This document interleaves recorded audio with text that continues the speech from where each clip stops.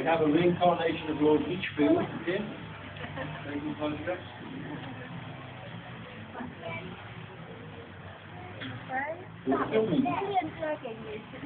There you go, you've seen a little tiny bit of Brothers Underground, you see, I hope you've enjoyed it.